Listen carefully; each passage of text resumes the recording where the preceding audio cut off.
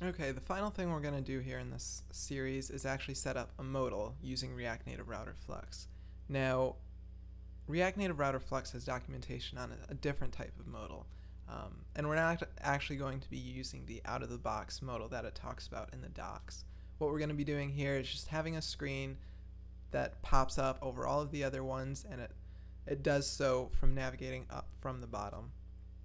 It's really, really simple, um, and again, something I did off screen, off video, was set up a new component called modal screen.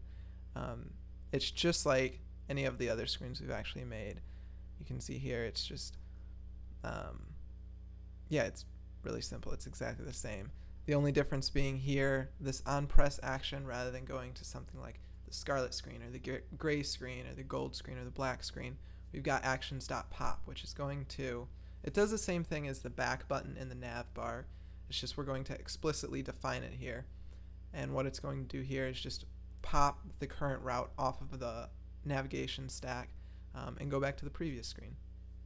So let's go ahead and actually wire this up. Um, again, like our other routes, we're gonna going to jump into our um, our index.js file here. Something I'll do is scroll down um, down here. So something note, it's a little hard to see here, but we're actually outside of the tabs scene that we set up before. So this is this is um, a sibling to the the tabs scene rather than a child like any of these other ones. So that's something to note there. And again, just like all the other routes, We'll set up a, a normal scene, give it a key. In this case, we're going to say modal. Um, we'll give it a component, which is equal to uh, modal screen, which we actually need to import. Go ahead and do that up here. Okay, so now we've got our modal screen imported there. Um, Again, we'll set a title. This isn't really needed here, but just kind of sticking with normal conventions.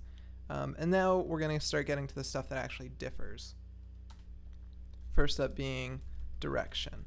Um, before I said this will be a screen that pops up from the bottom, and rather than kind of going with a left to right, um, or a right to left, I think that'd be the right way. The normal navigation that we see here the direction of this one's going to be from bottom to top.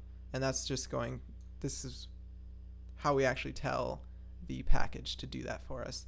Um, that's the only specification we actually have to add, have there, which is really nice.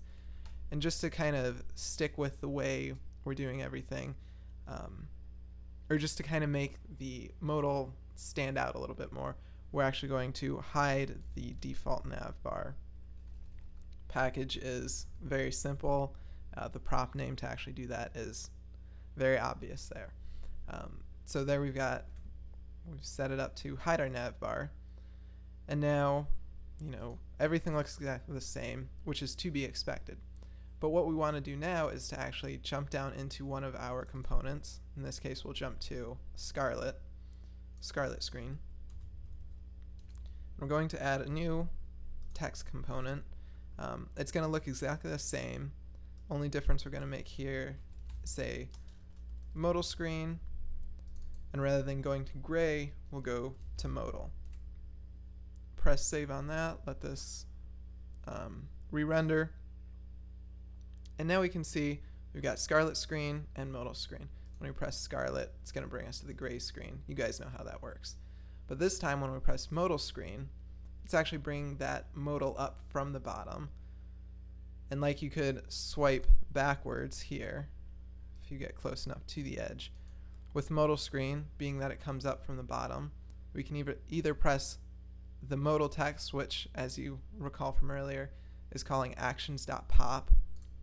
That'll drop us back to our previous route, in this case our tabs.